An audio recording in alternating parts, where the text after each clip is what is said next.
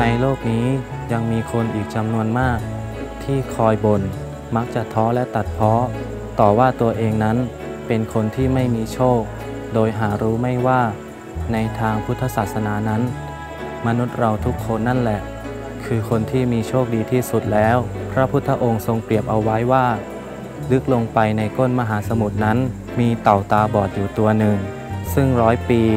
จะโผล่หัวขึ้นมาครั้งหนึ่ง โอกาสที่เต่าตัวนั้น จะเอาหัวสอดเข้าไปในห่วงนั้นยากเหลือเกิน แต่การเกิดมาเป็นคน